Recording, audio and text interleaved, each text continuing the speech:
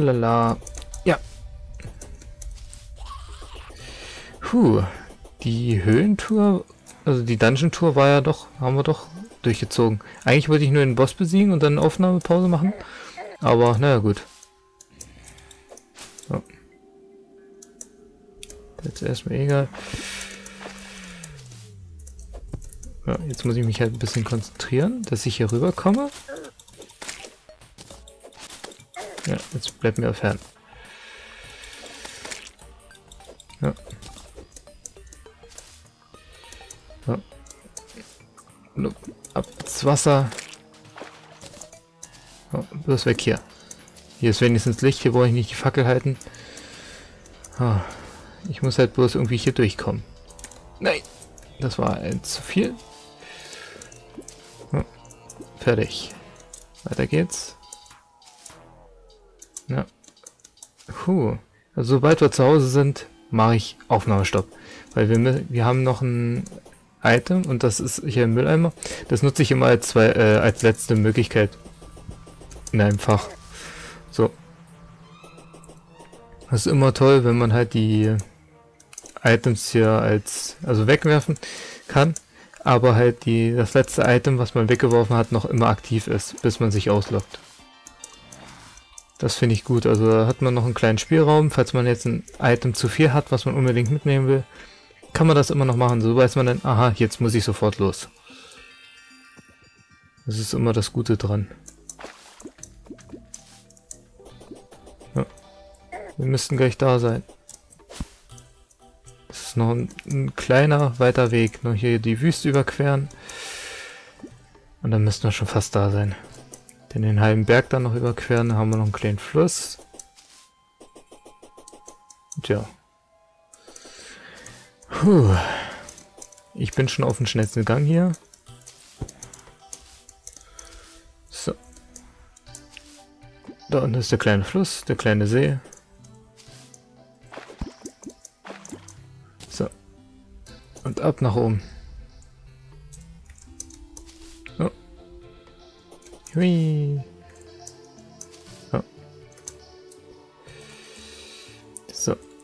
Und runter und springen und Jump'n'Run hier.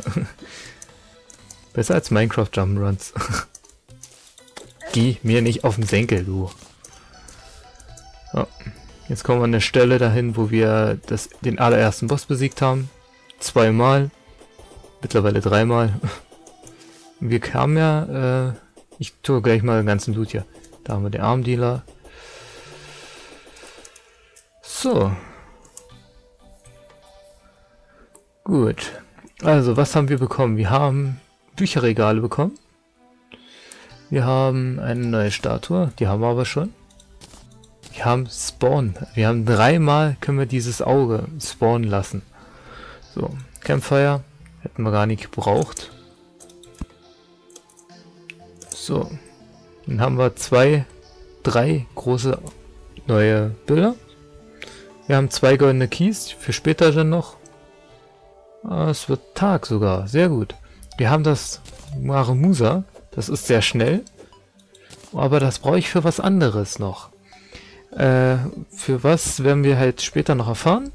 Und halt der Bone Wand. Der Bone Wand ist sozusagen, damit kann man diese Knochen in äh, sozusagen Knochenblöcke verwandeln. Das ist das Gute, deswegen habe ich mir die Knochen mitgenommen alle. Und deswegen wollte ich auch so ein Bone Stuff. Äh, Bone Wand. So, ich gucke mal kurz. Das hier, der Magic Missile. Kann man halten, gedrückt halten und dann kann man sich halt... Wow. Das ist das Gute an dem. Do, Godly. Oh, der ist sehr gut. Hier kann man ein bisschen Wasser sprühen. Guck mal, ich muss pinkeln. so, das ist halt zu dem hier. Den hat man früher immer vor der 1.2 hat man den immer für unter der Erde halt benutzt, um halt durch die Wände kurz, also einen kleinen, einen kleinen Fenster, einen kleinen Rahmen zu gucken, ob was äh, unter der Erde ist, ob da ein paar bestimmte Ärzte sind, ob da eine neue Höhle ist, oder, oder, oder. Also die hat man da oft sehr genutzt. So, ein neues Bett. Das nehmen wir auch gleich an. Blub. Stopp. Und blub. So. Äh, blub. Spawn-Punkt gesetzt. So, haben wir ein neues Bett. Dann packen wir die... Nee. Kommen eigentlich bei den Dekos hin. Packe ich erstmal hier mit rein, die ganzen Deko-Sachen. Kann ich jetzt nicht anders machen. So, kommt sowieso. Quick Stack. So. Nix. Dann das hier rein. Die Ropes hundertprozentig rein? Ah ne, die kommen bei Baumaterialien rein, echt? Ich mache mal hier kurz Quick Stack. Ja. Mache ich das hier auch erstmal noch bei Baumaterialien rein. Genauso wie das. Eieiei. So, müsste eigentlich erstmal einen Großteil haben. Das hatte ich gesagt. Das Cobalt-Schild ist immun gegen Knockback. Das können wir später mit einem Obsidian-Schädel, äh, also mit einem Obsidian-Kopf, kann man das halt äh, verbessern, um halt äh, einen Obsidian-Schild zu bekommen. Und damit können wir dann auf äh, Feuerblöcke laufen, wie Kometen und äh, Höllensteine. So, das wäre es dazu. Dann packe ich erstmal die ganzen Tränke weg. Nightöl, da haben wir die nochmal. Hat sich ja eigentlich richtig gelohnt. Wir haben hier noch ein paar Candles. Ja, die Klotierpuppe, äh, damit können wir den Skeleton, den wir besiegt haben, den Boss. Wir haben sogar Dynamit jetzt. Tja, also wir haben hier jede Menge gesammelt. Muss man mal sagen. Quickstack. Quickstack, nix. Quickstack. Na gut. Dann würde ich sagen, ich ziehe überhaupt schon ein bisschen wieder überzogen. Deswegen sage ich jetzt, äh, wenn es euch gefallen hat, könnt ihr mir wie immer gerne eine Bewertung dalassen. Und ja, für alle Nicht-Abonnenten, wenn, wenn euch gefallen, wenn es euch gefallen hat, Mensch, blablabla. ihr seht, ich bin schon wieder müde. Und ja, wenn es euch gefallen hat, könnt mir gerne mit einem Abo damit weiterhelfen. Somit würdet ihr mir auch weiterhelfen, dass ich auch ja, angesehener werde, beziehungsweise so wird mein Kanal auch ein bisschen besser dargestellt, weil meine, jeder weiß, Abos zählen heutzutage irgendwo überall, obwohl eigentlich Abos nicht gerade das Wichtige sind, sondern halt das, was man macht. Aber naja, viele sind auf den Standpunkt so, ich kann, man kann es nicht ändern. Na gut, Nichtsdestotrotz sage ich erstmal Tschö und halt nicht vergessen in die Kommentare zu schreiben, wie ihr halt diesen Sturm, diesen Orkan, Sava, Xavier, keine Ahnung, Saver, äh, überlebt habt. Und ja, wie äh, könnt ihr noch dazu schreiben, äh, was habt ihr schon eigentlich für alle Terraria-Spieler? Was habt ihr eigentlich mal so für ähm, Anfänge mal gehabt? Also beziehungsweise ihr habt angefangen das Spiel und äh, was war für euch erstmal am schwersten? Das wäre vielleicht nochmal interessant zu wissen von euch. Ansonsten, ja, würde ich erstmal sagen, war es das jetzt von mir. Endgültig. Ich tue schon wieder immer zu lange labern. Ist das doof oder nicht? Könnt ihr auch mal reinschreiben. Ansonsten sage ich jetzt mal Tschüss und bis zum nächsten Mal. Also dann, ciao, ciao. Moin, moin, liebe Leutchen. Herzlich willkommen zu einer weiteren Aufnahme von Terraria. Und diesmal bin ich wirklich krank. Also ich habe wirklich hammermäßigen Geschnuppen. Also nicht wundern, wenn mal das eine oder das andere kommt. Ich kann das ehrlich gesagt jetzt momentan nicht unterbinden, weil ich habe, ich bin so am Arsch, das glaubt ihr mir gar nicht. Nichtsdestotrotz werde ich äh, trotzdem aufnehmen ich werde ich werde euch das jetzt hier nicht vorenthalten. Ich werde hier auch keine Pause machen. Und ja. Gut. Ich habe mir für diese Aufnahme ein bisschen was Leichtes vorgenommen. Ich werde diese Aufnahme ein komplettes Lager bauen, so dass wir unsere Kisten hier gut einlagern können. Das wird dann ungefähr hier passieren. Und ich werde auch für NPCs noch ein bisschen was Neues bauen so dass wir hier unten noch was haben. Also ich werde noch zwei weitere Häuser bauen, wenn es schaffe. Ich werde jetzt erstmal das Lager bauen und dann, ja. Gut. Also wie gesagt, ich habe jetzt erstmal ein bisschen Schnuppen, deswegen tue ich ein bisschen was ruhigeres angehen. Und ja, gibt es sonst noch was zu erzählen? Eigentlich nicht.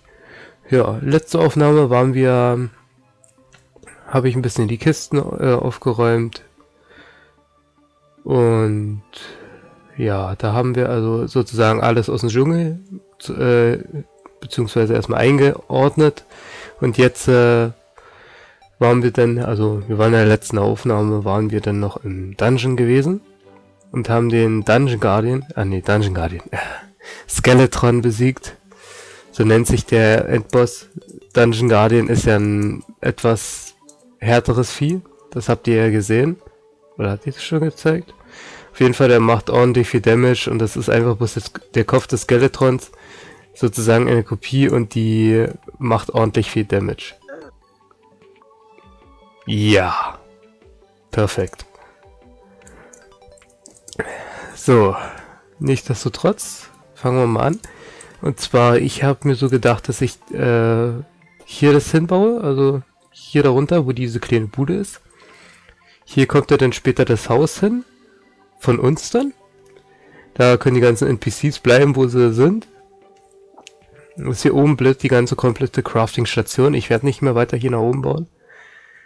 Äh, aber das ist ja jetzt erstmal hier für uns normal erstmal als kleine Bude gedacht. Die wird dann später ausgebaut hinten. Denn die ganzen Crafting-Stationen werden so bleiben. Die kommen dann, äh, werden dann halt hier drüben noch verbreitet. So dass das hier auch einheitlich stimmt mit den Gängen. Obenrauf kommt dann wahrscheinlich noch was anderes Schönes. Mal sehen. Aber soweit sind wir ja noch nicht. So. Jetzt, denn eigentlich der... Ach, der ist da unten. Achso, guck mal. Unser Partikel Bambi ist da. Ist einer der schwersten NPCs, die man bekommen kann, weil die nur ähm, je nachdem, äh, also es müssen sieben NPCs dabei sein und die hat eine Chance äh, 2% äh, dass er spawnt. So. Wir brauchen jetzt erstmal ein bisschen Zeug. Das heißt, da, da, da. Äh, Quickstack, ah ne, hatten wir ja schon. Wir haben zwei Bone Stuffs. Ah ne, ich werde mal vorher was anderes machen und zwar, ich werde erstmal alles entrumpeln hier. Wartet mal ganz kurz.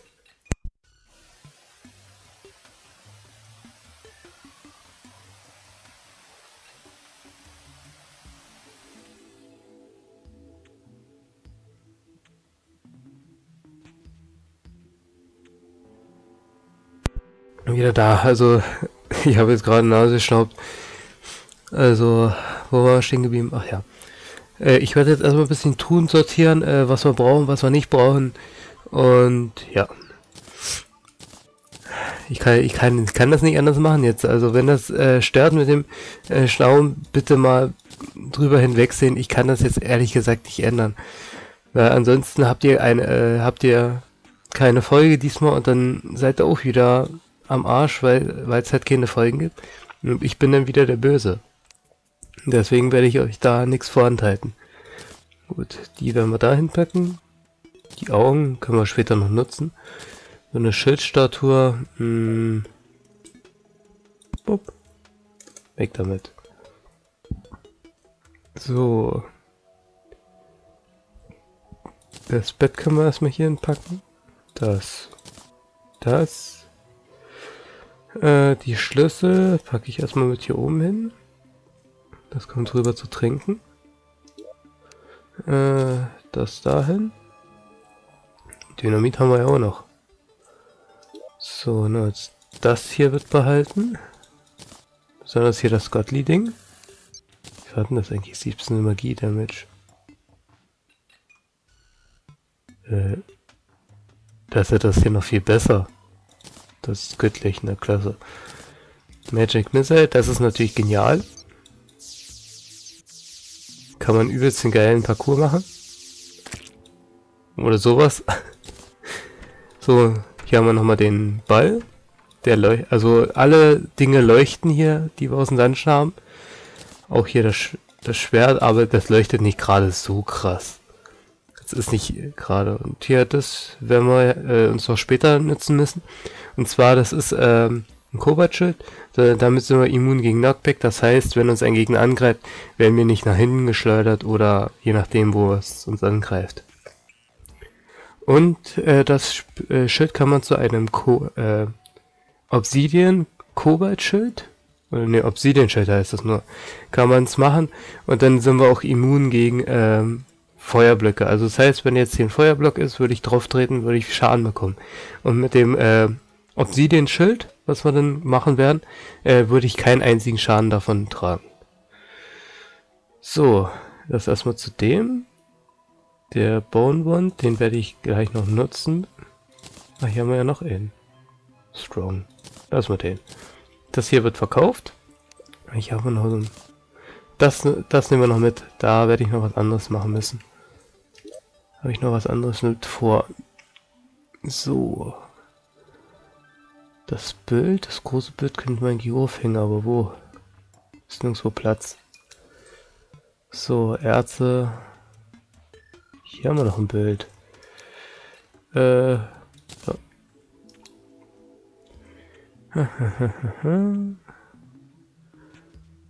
so, zum Verkaufen haben wir hier erstmal nichts. Sehe ich gerade.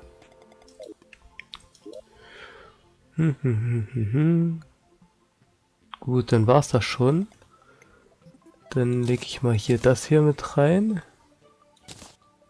Die lasse ich mal da.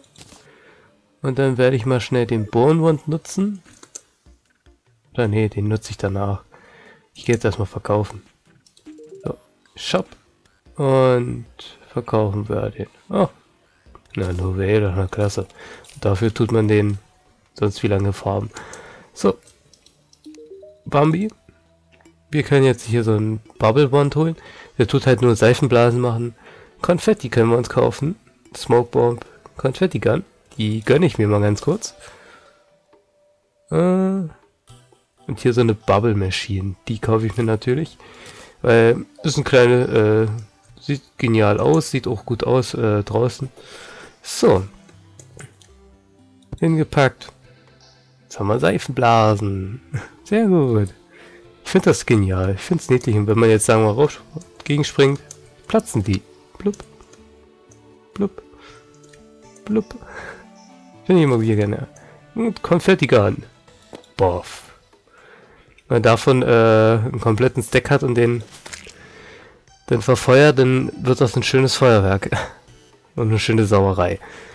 So, das hier werden wir wahrscheinlich, also hier das Let's Play-Reich von Yakuza und Community von euch halt. Ihr könnt, äh, wenn ihr jetzt sagen wir mal äh, mitspielen wollt, müsst ihr halt einen Charakter haben, der auf dem gleichen Level ist oder halt äh, einen Charakter haben, der jetzt sagen wir mit Bauhilfe machen will Ihr könnt ihr gerne machen. Ich tue euch auch in diesem in diese Welt verewigen. Und ja. Nichtsdestotrotz, ihr könnt euch gerne dafür bewerben. Und ja, sonst gibt es eigentlich nichts zu erzählen. Also ihr könnt gerne, wenn ihr halt äh, mitspielen wollt, beziehungsweise Bosse besiegen, ihr müsst einen Charakter haben, der genau wie mein entspricht. Also so ungefähr gleichen Herzen. Also es könnte jetzt schon 400 sein komplettes Mana. Es darf aber keine Überrüstung sein. Äh, ich habe jetzt noch kein Kobalt, also darf es noch kein Kobalt haben. Also ich habe jetzt momentan die beste Rüstung, die es gibt. Die wir kriegen konnten. Na gut, es gibt noch eine bessere, aber da müssen wir ja ganz weit runter. Oh, meine Schnuppen ist irgendwie genial. So, äh, ich komme zu nichts gerade. Äh, wir haben das, das, das, das. Jetzt muss ich nach unten bauen. Da brauche ich Ropes. Robst, wo haben wir sie? Die Robst da. Die brauchen wir. Das machen wir später. Und dann brauchen wir Plattformen. Ich weiß nicht, ob die da halten. Ich versuch's dann einfach mal. Ansonsten Blöcke. Ja, Blöcke mache ich dann mit dem Bonewand. Ich brauche noch Wände. Wände sind ganz wichtig. Grey Brick Mhm. Soll ja nicht so toll sein. Okay, nehme ich mir die Wände mit. Sandstone. Wäre auch nochmal eine Idee. Mudstone Brick Wall. Oder das. Nee, das ist zu wenig. Das wäre nichts. Gut, oder die Lizard Brick Walls. Mal sehen. Wir gucken uns das erstmal dann an. Weg. Ich finde das genial, wie die Hasen immer wegbleiben. So. Ich würde sagen, das hier oben wird ja äh, wird auch zugemacht. Dann grabe ich mich erstmal hier runter. Fackeln habe ich mit, ja. So. Und da hier NPCs in der Nähe sind. Achso, ähm, ihr werdet sicherlich gemerkt haben, warum hier keine äh, Monster mehr spawnen. Das hat einen einfachen Grund. Es sind hier zu viele NPCs, also es ist zu sehr bewohnbar. Weg da. Also es ist zu sehr bewohnbar, deswegen kommen auch keine Monster her. Außer wenn jetzt halt mal ein Boss ist oder so. Oder außer wenn Blood Moon ist oder was weiß ich, Solar Eclipse oder Goblin Armee, je nachdem. Dann kommen Monster her, weil es ein Event ist sozusagen, was die ganze Welt von, auf der wir gerade spielen, betrifft. Also es kann egal wo, wie viel NPC, NPCs sein, also sind. Es kann jetzt mal meinetwegen auch sagen wir mal hier. Hier ist ein ganzes Dorf, äh, haben wir ein ganzes Dorf errichtet, wo die ganzen NPCs äh, rumwirtschaften. Also würde hier nichts spawnen, aber wenn jetzt sagen wir Blood Moon ist, würde hier auch was spawnen. Huh, Tree. Äh, und ja, wenn die jetzt hier alle weg wären, dann würde hier auch Zombie und alles kommen. Und Schleime, je nachdem, wann Tag oder Nacht ist. Und ja, gut. Ihr werdet sicherlich nicht sehen, wo ich gerade rumhacke. Bob. So. Ach ja. Ich habe jetzt auch eine Weile mit Terraria ausgesetzt. In meinem äh, normalen Let's Play, also Let's Play. Äh, ja, die äh, der Schnuppen, die Krankheit, die macht mir hier wirklich zu schaffen. Ihr werdet es sicherlich merken. Weg da. Mein, mein Bunker. Nichtsdestotrotz, äh, ich habe mit Terraria ein bisschen Pause gemacht, weil ja, ich bin ein bisschen frustriert, weil ich da mit dem äh, mit dem Banner sammeln nicht weiter vorankomme. Ist ein bisschen äh, aber naja. Äh, aber mittlerweile gibt es ja ein neues Spiel von äh, den Machern von Terraria. Beziehungsweise von dem Designer von Terraria. Er hat äh, das Spiel äh, Starbound kreiert. Und ja, also ich muss sagen, Starbound ist äh, gegenüber Terraria eine schöne, geniale, gelungene Abwechslung. Also Respekt an diejenigen, die es gemacht haben. Ich finde, Starbound vereint einfach bloß das, was man in Terraria eigentlich immer vermisst, und zwar äh, die Unendlichkeit. Also es, in Terraria wollte man es ja immer machen, dass man unendliche Welten hat. Und das konnte man nie machen, weil es halt immer eine Begrenzung gab. Weil sie halt dieses Meer haben hier hinten. Und das Meer hört irgendwo auf. Das heißt, äh, man könnte sich das jetzt vorstellen, äh, das als Kugel zusammenbinden. Hier, also wenn man jetzt hier lang laufen würde, kommt man hier wieder raus. Das wäre vielleicht eine kleine Neuerung. Das könnte man vielleicht machen, dass man da irgendwie was machen könnte. Da ist noch unsere Mechanikerin. Ansonsten äh, sehe ich schwarz. Also es ist ja momentan noch in Planung Terraria 2. Äh, wenn möglich, werde ich das auch Let's Playen. Und ansonsten muss ich sagen, äh, Terraria 2 äh, ist bis jetzt noch ein Dorn im Auge, was, äh, wo ich sagen muss, hm, wird das was, wird das nix. Das ist momentan noch zwiespaltig. Und ja, ich bin da noch ein bisschen skeptisch, was, äh, was die daraus machen wollen. Also es soll jetzt nicht heißen, äh, das ist ein neues Spiel, neue Version, äh, sieht ja, wird ja bestimmt scheiße werden oder so. Nein, ich freue mich immer riesig auf neue Spiele, auf neue Versionen. Weil man dadurch... Oh, da war eine riesengroße fette Blase. Weil ich freue ich freu mich immer riesig, äh, wenn ein neues Update rauskommt und oder wenn es eine Neuerung gibt oder neues Spiel von äh, irgendwelchen Machern, wie zum Beispiel bei Terraria oder was ich auch sehr, sehr feier ist von äh, Dedelic äh, die Adventure-Spiele wie Deponia, was ich auch Let's Playe, äh, Harvest Neue Augen, Edna bricht aus, dann Memoria haben sie ja auch gemacht. Also es gibt viele Spiele, die, die ich da sehr, sehr feiere. Eigentlich sozusagen alle Spiele. Und ja, also was ich gerne, gerne mal würde, zwar Poki treffen. Das ist noch so ein kleiner, ja, halber Kindheitstraum. Weil ich finde, Poki ist so, ich würde ich würde zu gerne mal wissen, wie er auf sowas gekommen ist. Überhaupt solche Adventures zu programmieren. Erstmal richtig hinstellen. Wie äh, solche Adventures äh, zu produzieren mit äh, solchen humorvollen äh, Ausgang sozusagen, kann man sagen. Also ich finde das genial. Also wenn ich da mal die Möglichkeit habe, äh, werde ich die auch hundertprozentig wahrnehmen. Also es... Ah, wieder ins Runter. Na gut. Also da werde ich mir keinen äh, keinen Zwang dahinter setzen und sagen, äh, naja gut. Äh, wenn er mich jetzt kann, also wenn er mich jetzt, äh, beziehungsweise wenn ich ihn sprechen kann, dann werde ich das auch wahrnehmen, egal was jetzt momentan los ist. Außer das ist jetzt so wichtig, dass ich jetzt wirklich absagen muss. Aber ansonsten würde ich das hundertprozentig wahrnehmen. Und ja, wie viele ja wissen, ist der Gronk mit äh, Dale Dalek sehr, also sehr groß geworden eigentlich. Beziehungsweise er hat ja auch eine eigene Synchronstimme bei Deponia. Der Goon war das. Entschuldigung, ich tue mal kurz nochmal Nasensturm.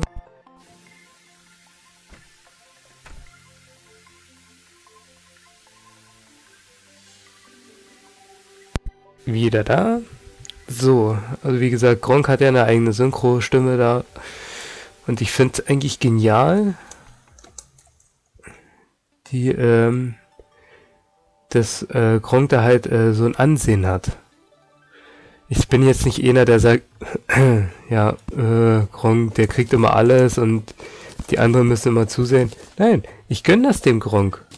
Weil, ganz ehrlich, er hat sich's verdient, er hat was aufgebaut, wovon andere nur träumen, wovon andere nur sagen, äh, das kann ich auch und so. Aber besser bekommen sie es nicht hin. ich, ich hingegen muss ehrlich sagen, ich, äh, ich bin sozusagen, wenn ich bei Gronk mitmachen könnte bei einem Let's Play oder so, ich würde das wahrnehmen, weil wann kriegt man so mal eine Chance, aber das wird nie passieren, weil erstens braucht man dafür den Kontakt, zweitens äh, muss man da auch äh, ziemlich, äh, ziemlich viel mit zusammenarbeiten.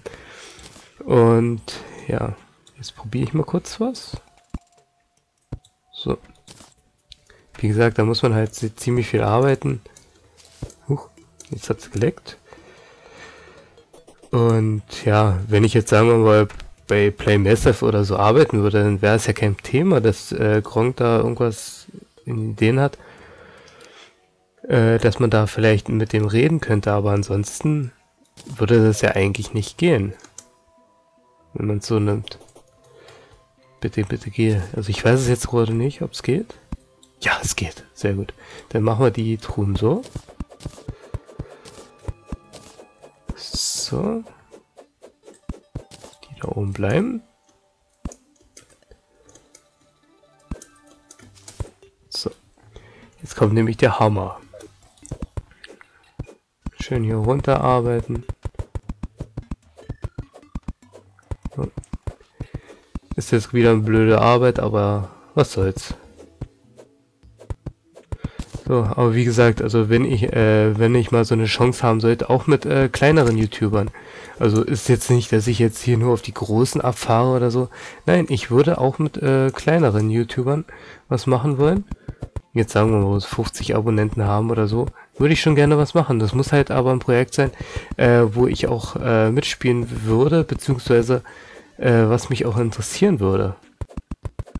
Es gibt ja Spiele, äh, wo man sagt, ja, Multiplayer äh, ist super, aber dann äh, aus eigener Initiative, naja, ist nicht gerade mein Spiel, ne? So könnte man das ja manchmal sehen, weil ist ja äh, bei den meisten Dingen, muss ich ehrlich sagen, ist, wenn ich manche Let's Plays gucke, auch von äh, kleineren YouTubern, äh, das ist immer so notgedrungen, als wenn man es machen muss. Wo ist denn da der Spaß? Sag ich mal so. Ich tue meine Let's Plays mit Spaß aufnehmen. Klar gibt es die ein oder andere äh, aufnehmen. Aber es, es macht immer wieder Spaß aufzunehmen. Beim Aufnehmen äh, einfach mal äh, quatschen, das, ja, ich sag mal so, das kann man nicht jeden Tag machen. Und ich hau ja wirklich jeden Tag eine Folge raus äh, von jedem Let's Play, was ich mache. Also momentan bloß noch vier Projekte. Evolent ist ja vorbei. Äh, für die, die es jetzt halt äh, Evolent noch nicht verfolgt haben, ihr könnt es gerne nachschauen. Ich habe es hundertprozentig durchgespielt, auch wenn da eine kleine Spoilerhilfe mit drin war. Ich habe es hundertprozentig durchgespielt und ihr äh, könnt ja gerne mal reinschauen